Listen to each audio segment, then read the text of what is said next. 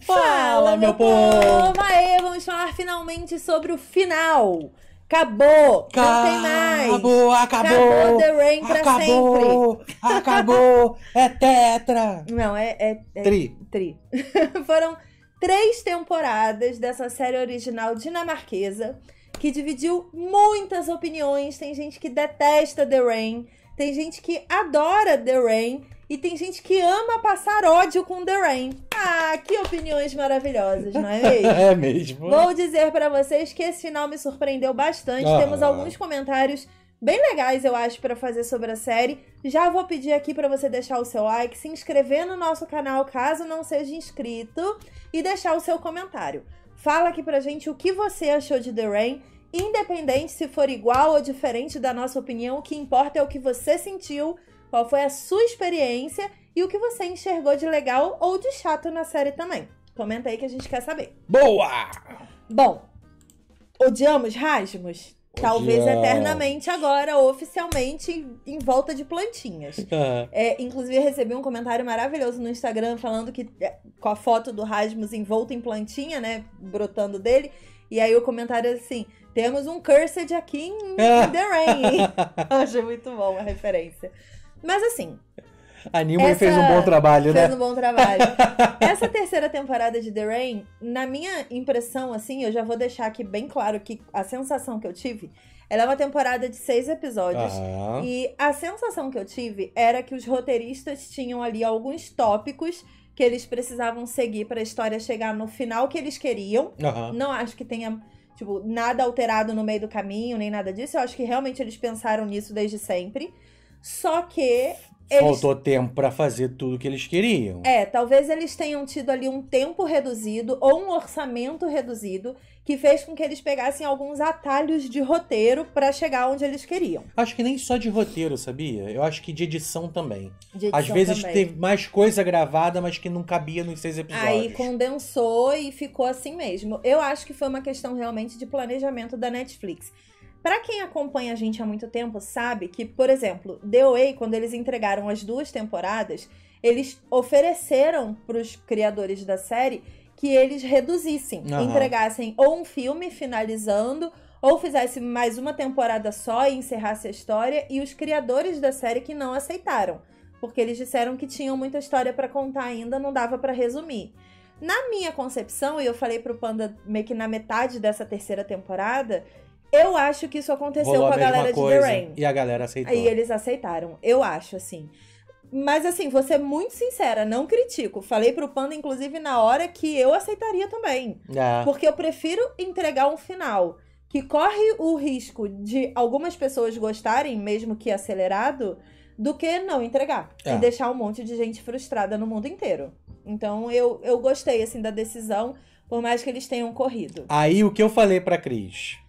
Imagina Leonardo da Vinci pintando Mona Lisa. É, ele deu esse exemplo. Aí chega no meio do quadro, acabou de pintar o sorriso da Mona Lisa, fala assim: Ah, Deixa assim. termina, termina, termina aí de qualquer jeito, eu vou te pagar metade do valor que eu ia pagar. Aí termina de qualquer jeito. Aí o, o Leonardo da Vinci olha e fala assim: Poxa, mas é uma obra de arte. Por que, que eu vou terminar uma obra de arte É. de qualquer jeito? É. Não faço. Boto Então, fogo e é. devolvo seu dinheiro. O Da Vinci, Para. no exemplo de Panda Mendes, são os showrunners de The Way. Isso. O resto do mundo inteiro que fala, pelo menos eu vou ter aqui meus 10 centavos pra pagar meu trabalho e meu público fiel vai ficar feliz no final. Sou eu, entendeu? Eu penso na galera feliz no fim das contas.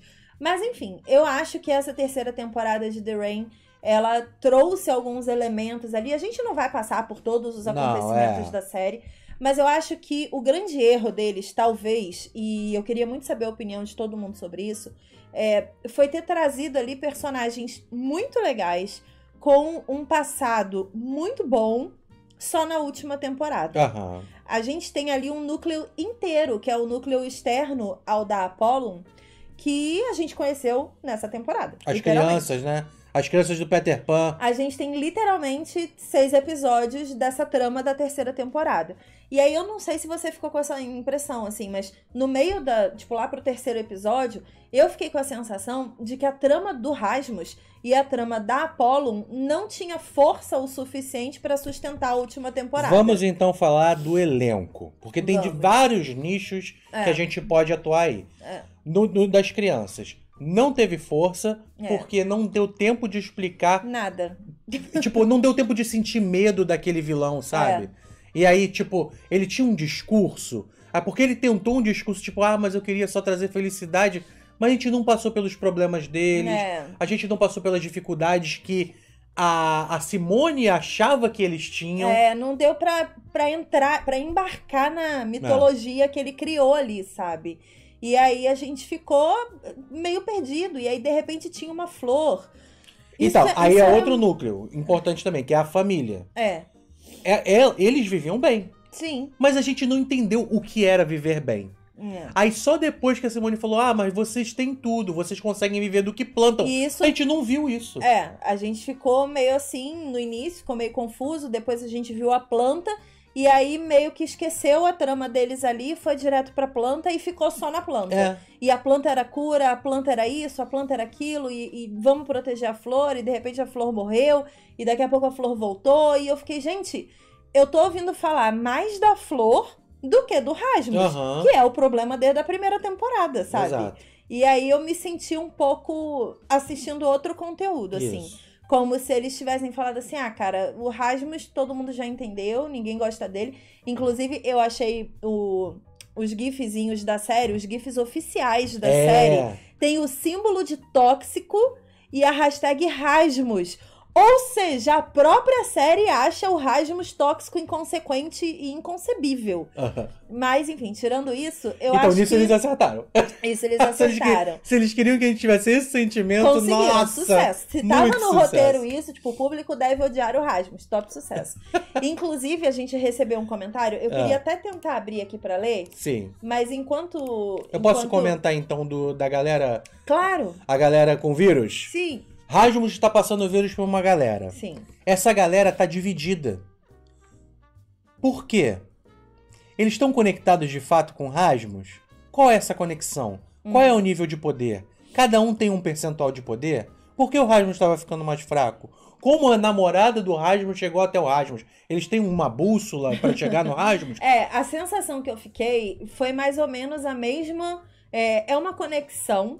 Isso ficou um pouco óbvio mais pro final, quando o namorado da Simone tá lá, vendo a Simone beijar o menino. Uhum. na fogueirinha e tudo mais. E o Rasmus lá de dentro da Apollon vê o cara vendo a Simone. Isso. Então, ok, eles têm uma conexão ali meio que como das abelhas, sabe? Na minha, na minha sensação, assim. Hum, Eu não tinha entendido Porque dessa eles- forma. Então, o que eu entendi no fim das contas com essa conexão deles é que eles são meio que parte da natureza. É É quase como um erro da natureza, sabe? Uhum. E aí eles têm ali consequências e reações e, e transformações nos seus corpos que são semelhantes às da natureza, de Sim. um vírus, a- sabe? Eu fiquei com isso, assim, mas aí eles não foram muito transparentes com isso também. Foi só uma interpretação Ó, que eu tive. Outra parada da família, a família do barulho lá que, que vive do que a natureza dá. Sim. A gente não sabe o que aconteceu com aquela namorada do cara que desapareceu. Então, ela morreu. Não, ela Morreu? morreu, por causa da flor. a Flor matou a ela. flor matou ela. É porque ela tava fugindo do pai dele. Sim. E aí eu também fiquei bolada, porque o pai dele ia o quê? Matar a menina? É, É Porque era essa sensação mas parece o fiquei. Krueger, porque ele nem corre, Ele ele, é vai se arrastando é. ali atrás da menina. É meio doido. Mas ela foge, amor, pra dentro daquele prédio onde tá a planta. Tá, aí ela. Quando ela entra, a planta explode. Então, a planta só explode se encostar na planta. Ela pulou dentro da piscina e abraçou a planta ah, pra não, morrer. ela deve ter caído, deve ter corrido, passado perto, esbarrou na planta, alguma coisa assim. Acontece. Deixa eu ler o comentário aqui. Tá. O Tom Emerald, ele comentou no vídeo anterior que a gente fez de primeiras impressões da terceira temporada. Inclusive, se você não assistiu, eu esqueci até de falar, se você ainda não assistiu a terceira temporada, tem esse vídeo de primeiras impressões, eu vou deixar o link aqui na descrição. Boa. E vou deixar o link da playlist de The Rain também, que você encontra nossos vídeos sobre a primeira e a segunda temporada. Sim. Bom, o Tom falou o seguinte: Hum. na análise final de vocês, se liguem mais no contexto da série em relação aos personagens. Por exemplo, esse hate absurdo em cima do personagem é impressionante. Ele tá falando do Rasmus. Ah, tá. Embora eu não curta muito as motivações dele na terceira temporada, em alguns momentos, as atitudes do Rasmus até a segunda temporada são justificáveis pela vida que ele teve. Ele foi uma criança que tinha uma doença terminal. De repente, ele ficou preso por seis anos. Perdeu parte da adolescência num bunker. E quando finalmente saiu de lá, estava num mundo pós-apocalíptico, além de ter perdido os pais. É um personagem muito humano, como todos ali. No fundo, era um rapaz que queria fazer coisas boas, fazer a diferença, mas não tinha experiência de vida direito, uma vida complicada. Uhum. Quero dizer ao Tom que ele vê o Rasmus como a Simone vê.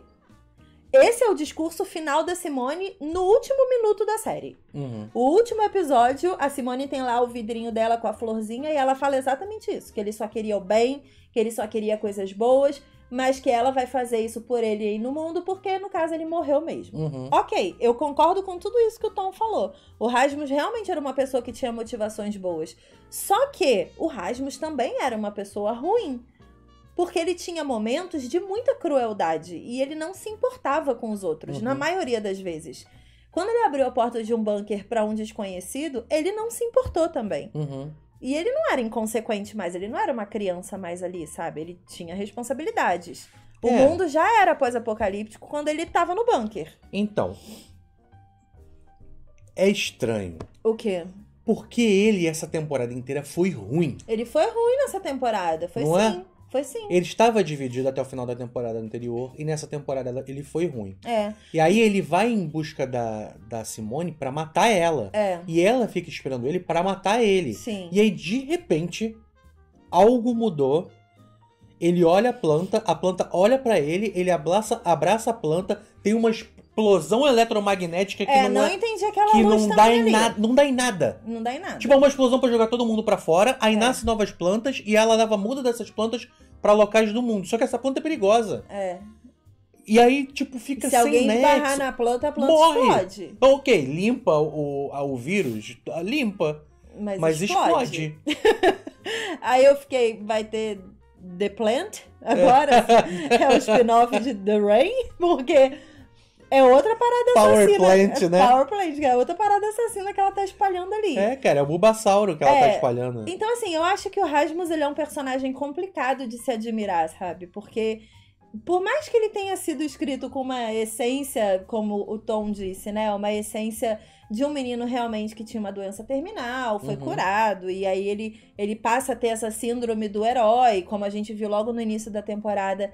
Ele é o menino que sobreviveu e ele acha que ele é super especial, que ele vai salvar o mundo, que o que ele tem dentro dele é uma dádiva e não uma doença. Então, isso é outro ponto. Porque Aham. esses Venom aparece, aparece para abraçar o Rasmus, pra falar esse montão de coisa, mas ficou muito ampassando como é que a chuva foi criada, pra É. que que a chuva foi criada. Pô, a chuva foi criada pra matar uma galera, pra esse cara ser endeusado, É, não. e só, e ninguém percebeu? Sim.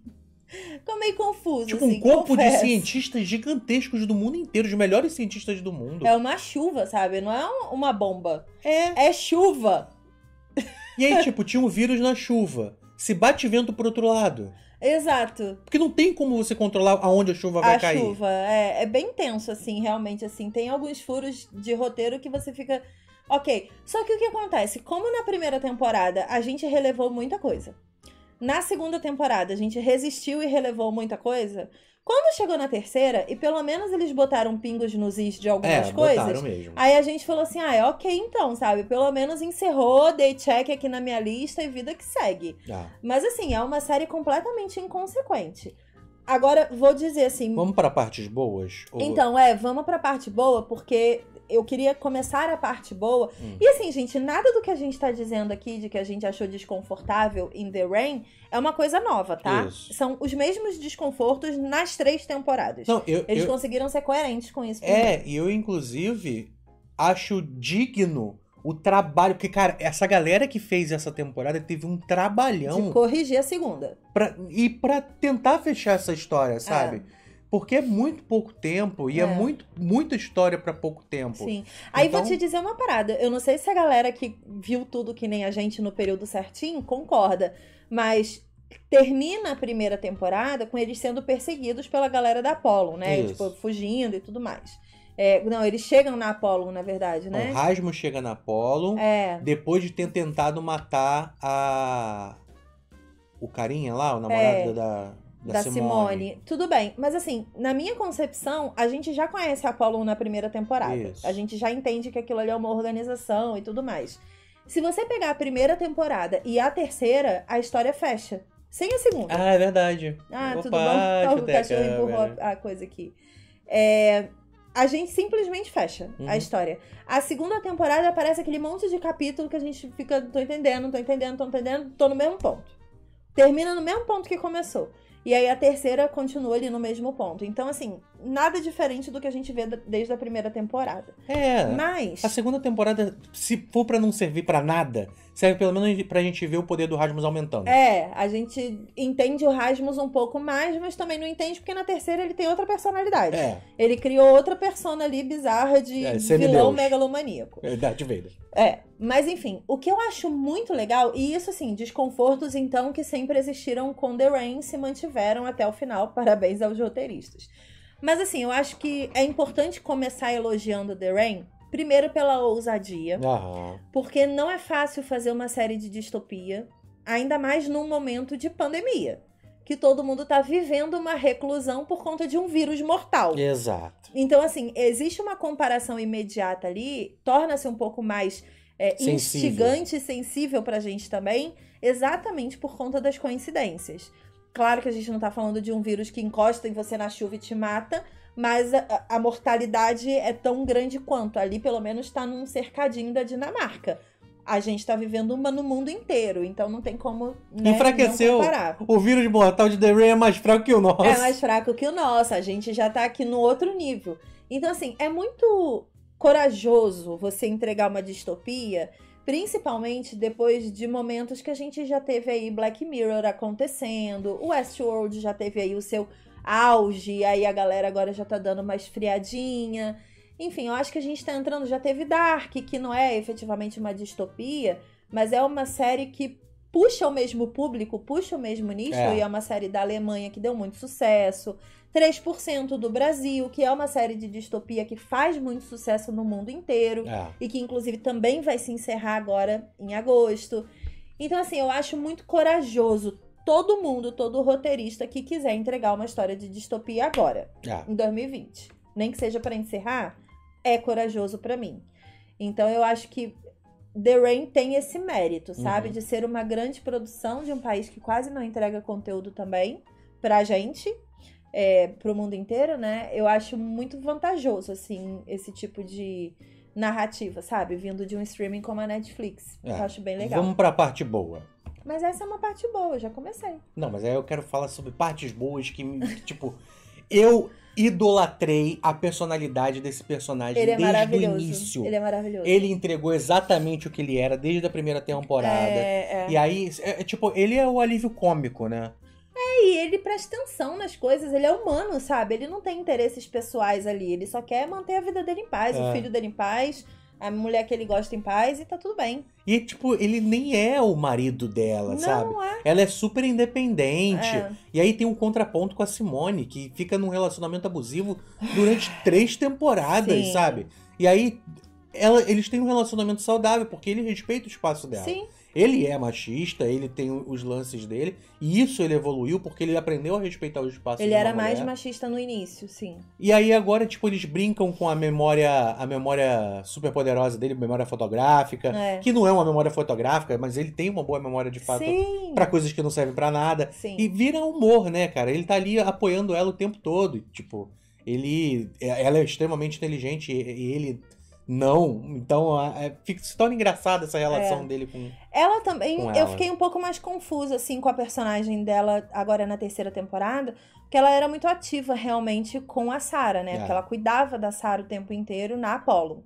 E aí, de repente, nessa terceira temporada, ela começa a revelar muitas coisas e começa a fazer associações. Ela meio que volta ali pra trama principal de alguma forma como cientista. E, e, e, cara, é muito confuso, assim, você tá numa série que você tem muitas pessoas muito importantes juntas. Que você precisa prestar atenção em todas elas, porque todas elas são relevantes para aquela história, É, sabe? se tivesse mais uma temporada, É, eles dariam uma espaçada pra explicar tudo isso é e eu tal. também acho. O filho dela nasceria e não nasceria no último episódio, É, sabe? e foi, tipo, muito... Ah, nasceu, e tem até mantinha. Sabe, umas coisas assim que você fica, gente, eu vou fingir demência aqui com essa mantinha. Tá bom, obrigado, tem uma mantinha. Sabe, essas coisas? E ele Enfim. que tem boné desde a primeira temporada, aí quando ele chega na Polo, arruma uma roupa pra ele da Polo É. e tem o boné da Polo. Da Apollo. Que é igualzinho o boné dele, só que cinza. Feito especialmente pra ele. Mas, cara, é aquilo, né? Eu acho que é uma série de outro país, é, é difícil julgar a cultura.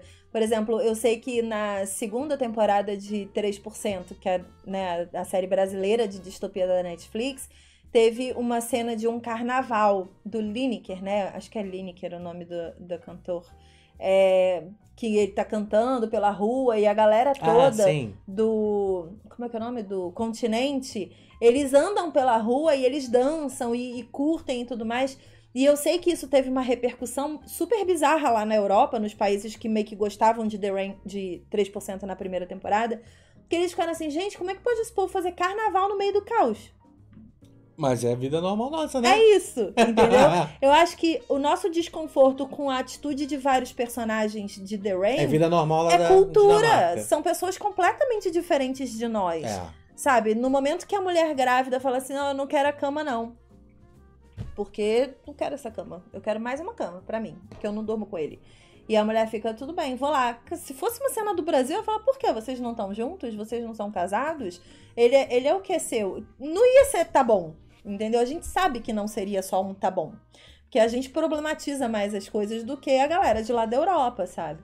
Então eu acho que é muito cultural também alguns desconfortos que a gente tem com The Rain.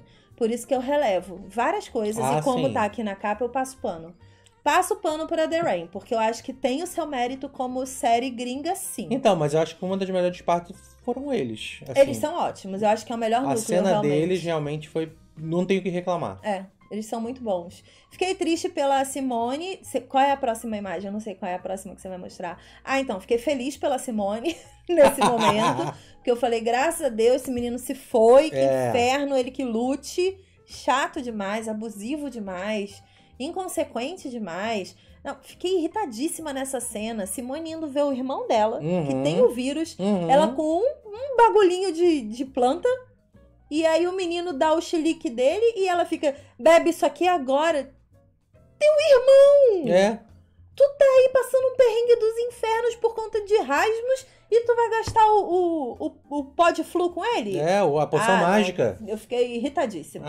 Fiquei irritadíssima, ainda bem que morreu. Gastou o negócio, mas ainda bem que morreu. Pô, e eu tinha pensado assim, nossa, quando aquela planta estourar que jogou semente pra tudo quanto é lado e matou um montão de, de garoto perdido lá do, do Peter Pan, eu pensei, nossa, esses garotos perdidos vão voltar com o poder da planta. É, a gente achou isso. Eu pensei isso, eu falei, nossa, eles vão ser zumbis Da da planta. planta. E aí vão lutar contra o Rasmus. É, mas aí o Ah, roteiro não. não, não, não, Não tem ah, tempo. O roteiro não tá aqui, Não. entendeu? Aí não estamos tendo essa condição de fazer zumbi. Nossa, é, seria Mas muito o legal mesmo tanto que eu fiquei com feliz com esse momento aí em que este candango se foi, eu fiquei triste com outro momento. isso. Qual momento? Cadê o outro menino? Sim. Porque esse menino aí deveria ter sido o menino que conheceu Simone lá na primeira temporada. Então, eu acho Que ele é legal. que a intenção era apresentar a família e no final da temporada, se tivesse quatro temporadas, apresentava a família bem Nessa terceira. e aí no final da terceira, o inimigo morto era o O pai. ele, não, ele. Ah, ele, sim. Aí ele morre no final da terceira. E aí o Aí- depois vinha a Simone com esse Aí menino. a Simone ficava com ele na última temporada, entendeu? Exato. Mas aí bota o beijo antes, aí o menino vê, aí fica louco. Mas, mas fica Gente, louco e não faz sentido nenhum, porque ele não Nenhum. faz nada. Nada. Eu só queria fazer um parênteses pra uma cena que me incomodou muito, eu não sei se incomodou vocês. Hum. Quando tá Simone com o namorado Chernobyl dela lá andando pela floresta, ela tá com uma mochila pesadíssima e ele não tá carregando nada. É. E ela tá andando lenta e bem atrás dele e ele Cansada. nem olha. Tipo, eu, nem é uma questão de, ai, mulheres não conseguem carregar a mochila. Ah, ah, ela estava andando lenta por causa da mochila. E aí ela diz que precisa descansar. E aí ele fica irritado. E ela pede desculpas por não estar conseguindo andar. Gente, isso não é machismo. Nem beira o machismo e nem beira feminismo que eu vou falar aqui. É humanidade. Você tem um ser humano com dor, você ajuda. É. Mas acho que a intenção. Ele nem se importa. Então, eu acho que a intenção dele era- era mostrar isso por causa do vírus. Hum, que ele tá ruim. É, mas, Mas, só ele que. sempre foi ruim. É, ele sempre fez paradas parecidas, sabe? É. Aí. Se você realmente assiste, agora. você não entende muito bem, tipo, Exato. tá, mas o que Ele diferença só faz? é ruim mesmo, é sabe? ruim. É- é- essa galera é meio estranha, assim. Uhum. Enfim, não sei, não E sei. eu gostei muito do, do, do garotinho. Sim, ele é fofo. É, E- mas aí, sabe o que faltou nele? Ah, Um pouquinho de peso pela morte da ex-namorada. é, também senti essa, essa ausência Porque aí. parecia. No momento que ele começou a tratar muito bem, e aí mostrou o flashback É. dele com a namorada, eu falei, ué, será que ele leva a namorada tipo, pro pai matar? Porque parada- pareceu isso. É. Aí de repente não era, ele era bonzinho mesmo, e aí É. demorou pra, pra tomar atitude contra o pai. Sim. E aí depois que ele tomou atitude, ele assumiu a liderança da família dele, Sim. né? E aí eu quero ressaltar uma outra cena muito tóxica da Simone com ele. Hum. Quando ele tá pegando lá o suco de planta pela primeira vez, ele tá com o maior medo da planta, É. porque ele sabe o que a planta faz. Aí ele explicou que a planta era perigosa e tudo mais. Aí a Simone falou assim: quantos potinhos você já encheu? Aí ele falou três. Não, quatro? Foi, vai. Aí ele falou quatro. Aí ela falou assim: ah, enche mais um então. Ah, não, não é o suficiente, eu preciso de mais um. Aí ele olha pra ela e fala: Cara, não vou, não vou conseguir. Eu, tipo, vai dar ruim, eu vou morrer com certeza. Ela, mas é pra salvar o mundo! Eu preciso de mais um! Aí ela faz um escândalo, ele tenta, a planta surta, dá as explosões dela louca lá. Aí eles são todos jogados pro lado de fora. Quando tá no lado de fora, ela fala: Quantos potinhos você tem? Aí ele, quatro. Aí ela, tudo bem, é o suficiente. Olha aqui, Simone! Você não brinca com a vida desse menino. Não, não tem sentido. Esse roteiro não tem não sentido. tem sentido, mas são detalhes. Assim, É. você fica, Simone, minha filha. O menino morreu pelo quinto potinho, quase. Exato. Aí tu me vem com papo de que E aí ele fica com essa cara aí, ó. Ah, de ai meu Deus do céu, quatro potinhos. É isso. Essa cara dele é tipo, mas ué, É. não era. Não... Não tô entendendo. Tu não queria os infernos dos cinco potinhos? Enfim, quase morreu à toa Bom, esse candanguinho. O último ponto que a gente tem pra falar com imagens é esse aqui, que é, o então, final. o final, e eles saem pelo mundo, né? E você tem, tipo, Não, não é pelo mundo, é pela Dinamarca só. É, o mundo deles, né? Que é uma Dinamarca destruída. Eles saem pela Dinamarca e ali tem o, o menino com síndrome de Jonas e eles estão espalhando amor em forma de planta com pó de flu. é. É isso. E aí eu fiquei. Cara, mas não tem nenhum. Olha, eu vou dizer uma coisa pra vocês aqui, Menino galera. com síndrome de Jonas é ótimo. menino cara. com síndrome de Jonas. É, eu não sei vocês, mas na segunda temporada de The Way, a Hum. gente tem uma parada de plantinhas saindo das pessoas. Quando o Rasmus caiu no chão e a plantinha começou a sair dele, eu parei, olhei pro panda e falei: a gente não pode reclamar. Porque se a gente. Eu já. Antes de saber a opinião Esse é o dele, máximo de aí que a gente consegue em Entendeu? Rain. Aí eu falei pra ele, tipo, se a gente em The Way falou, nossa, que filosofia maravilhosa. Nossa, essa somos planta, todos plantas. Essa planta saindo do ouvido, É. amo! Aí pega rasmos com as plantinhas saindo dele, a gente fala, hum, brega. Não tem coerência. Então, não, não teremos incoerência nesse vídeo. Passo pano, porque se já passei pra um, sigo passando pano Mas, pra todo mundo que em virar que planta. momento em The Way você encostava numa planta e dava um Kamehameha? Não dava, mas só em The Rain mesmo.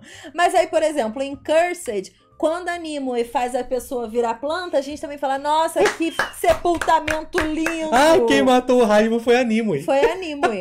A Nimue é a planta em The Rain. Entendi. Que ela faz pá! Explode todo mundo. Tem total sentido. Não faz sentido. Filha do Merlin. É isso, filha do Merlin está em The Rain infernizando a Dinamarca em 2020. Cara, assim, considerações finais. Ah, The Rain não é uma série ruim. não, não. Ela é uma distopia legal, ela é uma história diferente, de uma cultura diferente, feita por pessoas diferentes. E longe de mim ser crítica, pipipipopopó, de apontar o dedo pra The Rain e falar assim: meu Deus, nossa, que lixo de conteúdo. Eu acho incrível quem faz uma história, vende essa história pra Netflix e essa história vai à frente e, e é concluída em 2020. Exato. Estamos falando de um ano em que muita coisa é cancelada E a aleatoriamente. gente já assistiu muita ficção científica ruim É. pra falar que o que aconteceu ali é Entendeu? ruim. É legal, é divertido, entretém Ah. a gente, nem que seja reclamando. É. A gente fica aqui gritando com a Simone, grita com, com Fi, grita com Sara, gri- grita com Rasmus. Daqui a pouco a gente tá gritando com planta. aí daqui a pouco o Rasmus vira planta e a gente tá aplaudindo. Sei lá, sabe? A gente só viu The Rain e, E e acabou. foi bom. Acabou. Acabou! Acabou, Brasil! Eu vou deixar aí minhas três coxinhas pra The Rain, É. porque pelo menos me entreteve por três anos. Uma coisa É pra isso. cada ano. Uma coxinha pra cada ano e é isso, The Rain. É, de- tamo junto. É isso que eu tenho pra dizer. Dinamarca muito bonita, tá na lista aí do, do, Do- pós-apocalipse que a gente tá vivendo. Talvez passar. É. Dá uma passadinha lá. A gente passa na Dinamarca, pula aquele muro. Aí, sabe o que eu vou fazer? Quem tiver na Dinamarca, se alguém aí tiver vendo a gente. Nossa, por favor. Sempre tem um povo perdido aí Aham. pelo, pelo mundo, né? Ou se você for na Dinamarca algum dia, anota nos seus desejos. Hum. Tira uma foto com uma planta qualquer na Dinamarca e diz que é uma selfie com rasmos. É só isso que eu quero fazer na minha vida, entendeu? Chegar na Dinamarca, catar uma grama, fazer uma selfie e falar eu e rasmos. É isso, Chernorrasnos. Por gentileza, aceito fotos printadas me marcando lá no Instagram. Eu dou Obrigada. duas coxinhas. Eu acho que eu não tenho muito o que falar, porque eu já falei tudo nesse vídeo. Comenta aí o que, que vocês acharam da terceira temporada de The Rain. Eu acho que em meio a uma quarentena que a gente tá vendo tanta coisa, tanta É. coisa, encerrar coisas também é gostosinho. Dá aquele check. Ai, Acabou, tá Acabou. entregue, sabe? nossa, e foi. Foi muito Também é forte. muito bom. Então comenta aí o que você acha, que eu quero saber a sua opinião.